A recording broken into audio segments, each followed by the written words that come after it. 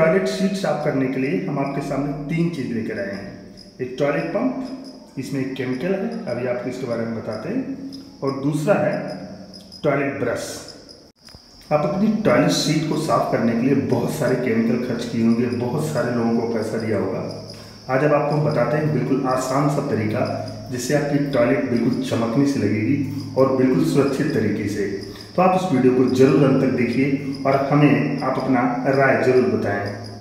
यह एक केमिकल है जिसको आप हार्पिक की कहते हैं, लेकिन हार्पिक अगर आप उसमें डाल के रखते हैं इस बोतल में तो बहुत ज़्यादा खर्चा होता है। हमने क्या किया, एक छोटी सी बोतल, आधा लीटर है, उसमें एक सुराख कर लिया और इस माध्यम से हम हार्पिक को गिराएँगे तो हमारा हार्पिक काफ़ी बहुत ज़्यादा हमें बचत होगी।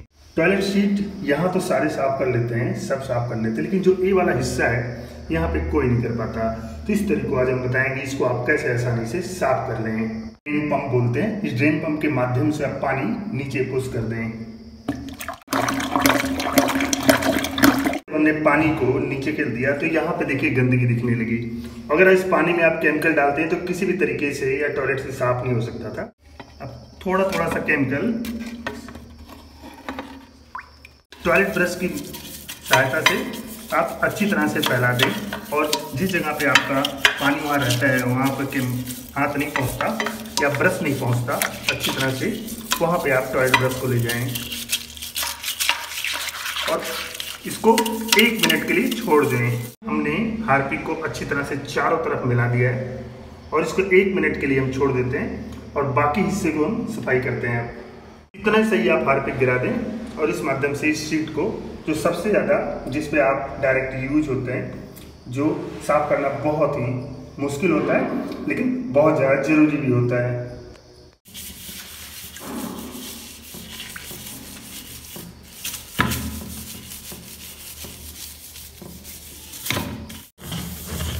और फिर यहाँ पे भी अच्छी तरह से इसको मिला दें आप। टॉयलेट ब्रश की सहायता से बस, देखिए, और यहाँ पे भी थोड़ा सा हम गिरा दें इसको भी अच्छी तरह से मिला दें एक मिनट हो गया है, अब इसको हम दोबारा तरफ़ करना शुरू करते हैं।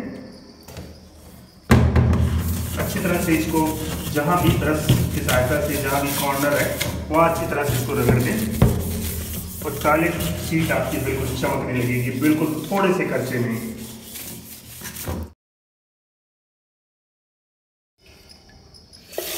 अब पानी एक मग में लें। और इस मग के पानी के साथ ऐसे आप टॉयलेट सीट की धुलाई करें।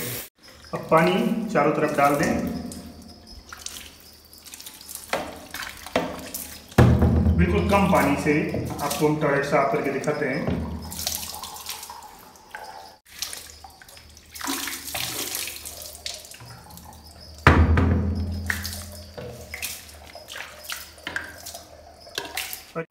टॉयलेट ब्रश के माध्यम से अच्छी तरह से आप उसे रगड़ दें।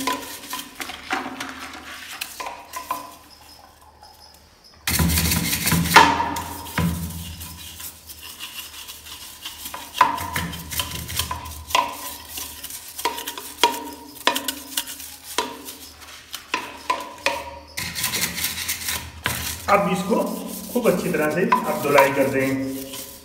ये टॉयलेट सीट बिल्कुल चमकने लगी है।